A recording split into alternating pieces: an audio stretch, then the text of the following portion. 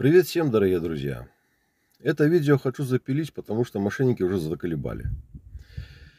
Э, недавно ко мне обратился человек. Короче, у меня есть фотоаппарат, э, ну, цифровик на куфоры. И, получается, поступило предложение о его покупке. Но это длилось до того момента, пока человек понял, что у меня карты нету. Сейчас я несколько скринов вам покажу чтобы вы э, понимали, что, ну, скажем так, не давайте данные свои э, карты паспорта никому, потому что это все лажа. Если человек хочет купить, он без проблем купит.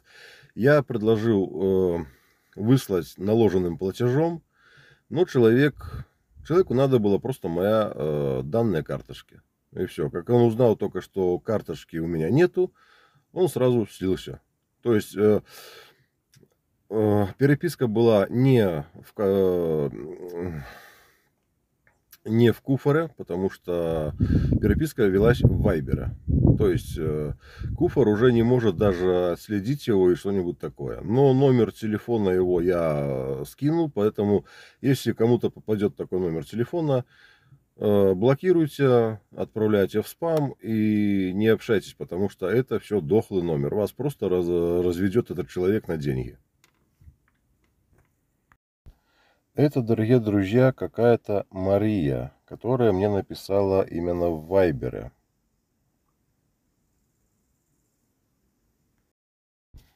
Как можете увидеть, спрашивает, интересуется моим лотом на куфоре ну, вот этим именно цифровиком, фотоаппаратом.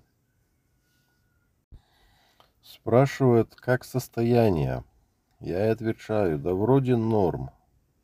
Раньше фоткали постоянно. Теперь, когда купили хорошие телефоны, он, получается, уже не нужен. Выложил на продажу, вдруг как такой аппарат еще кому-то нужен. Она спрашивает, сколько времени им пользовались. Отвечаю, примерно года два. Э, вот все не показывается. Блин. Отправите почтой по полной оплате на карту в чашники. Я ей отвечаю, карты нету, можете деньги кинуть на этот телефон. Сбрасываю ей телефон. Она мне отвечает. Так мошенники делают только. Просят на телефон. Я согласна только на карту.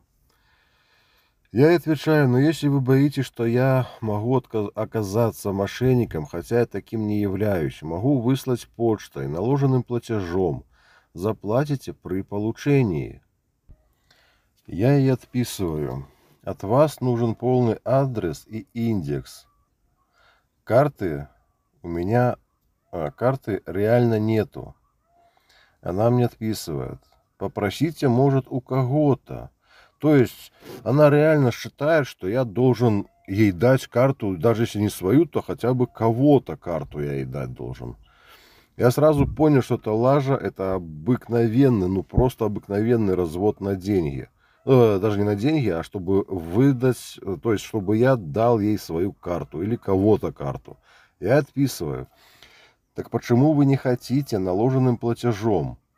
Э, я отправлю, оплатите при получении. Вообще никаких проблем нету. Но я вообще вот не понимаю, вот реально, какие проблемы? Получил, оплатил, все довольны. Ну, это сразу видно, что мошенник.